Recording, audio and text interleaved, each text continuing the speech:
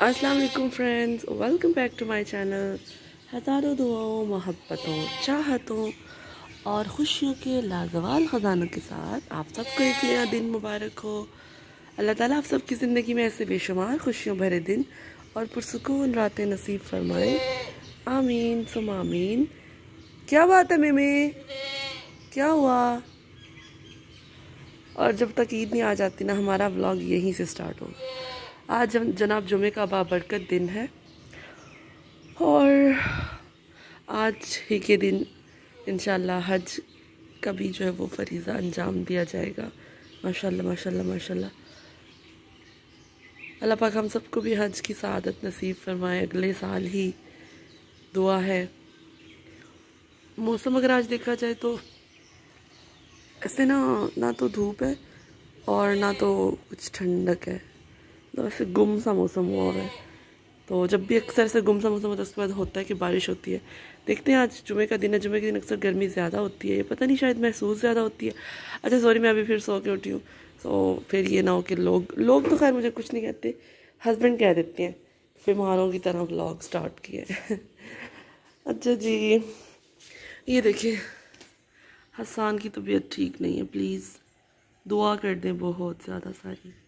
सबसे पहले मैंने इसको जो है ना वो ये दिया था पैनाडोल ये देती रही हूँ पूरा दिन मतलब हर चार से छः घंटे के इंटरवल से, लेकिन उसका बुखार ठीक नहीं हो रहा था। फिर मैंने उसको ब्रूफन दिया। वो भी ऐसे ही चार घंटे के वक्फे के साथ, के बाद। लेकिन उसका फिर भी बुखार नहीं ठीक हुआ।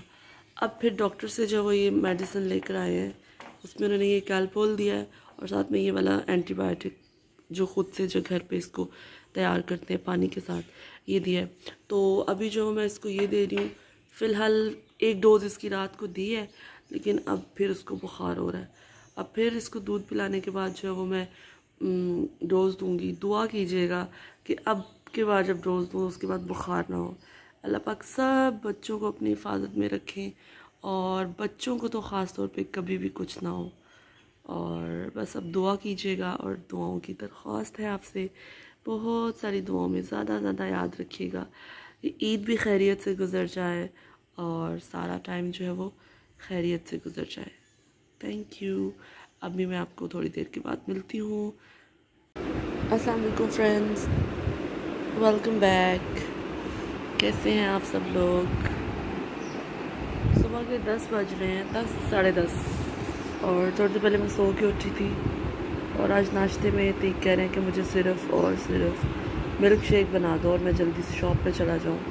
ये ईद के दिन करीब है तो थोड़ा सा वहाँ पे काम ज़्यादा होता है।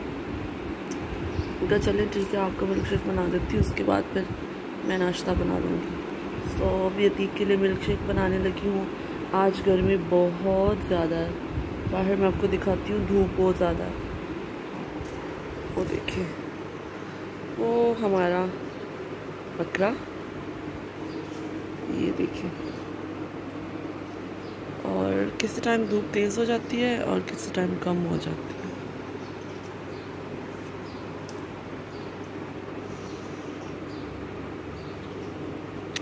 चले जल्दी से मिल्क शेक बनाते हैं, उसके बाद मिलती हूँ आपसे।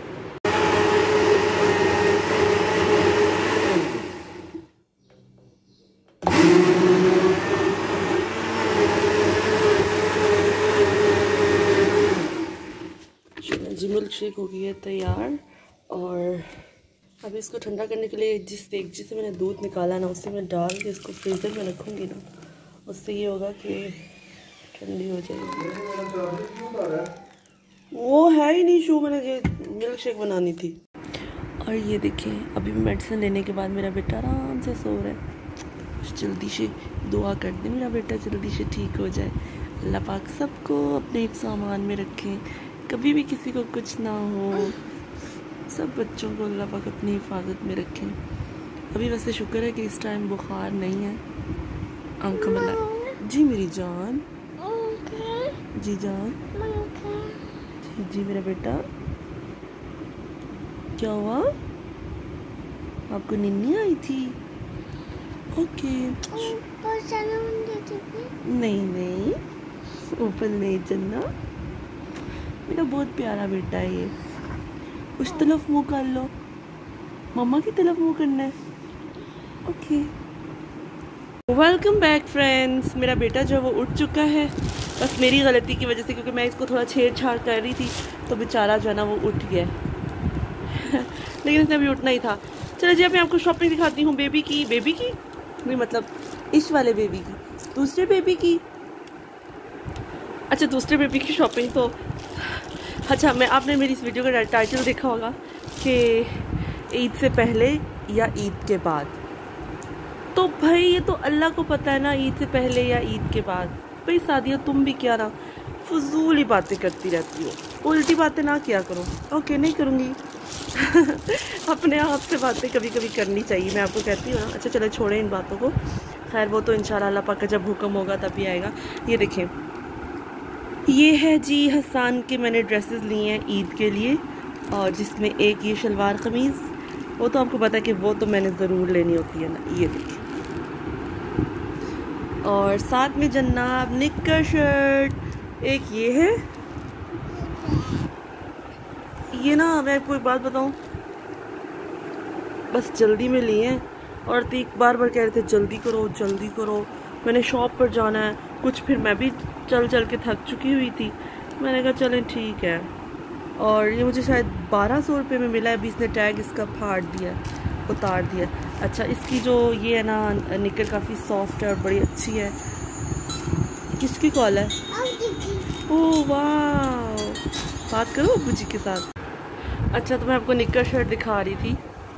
कॉल आ गई थी, ये देखिए। बस ये ना, इसका स्टफ़ मुझे बहुत ज़्यादा अच्छा लगा। ये देखिए ना इतना सॉफ्ट है। लेकिन ये जो क्या बना हुआ ना, ये मुझे बिल्कुल पसंद नहीं आया।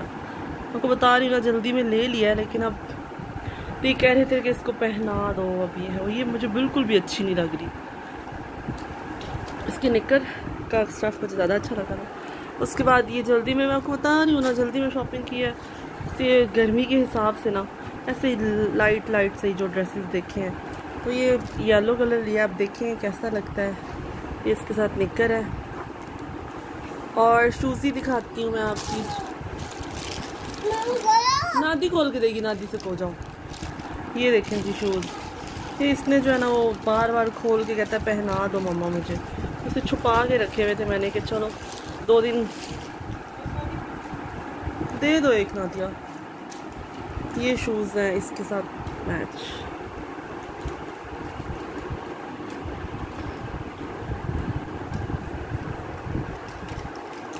और ये ड्रेस शलवार कमीज जेली जेली है? खा लो। बस आज का वीडियो छोटू सा था यहीं तक था। Thank you for watching maybe मैं आज रात में एक नेक्स्ट व्लॉग भी अपलोड कर दूँ या फिर कल मिलेंगे। तब तक के लिए खुदा हाफिज़।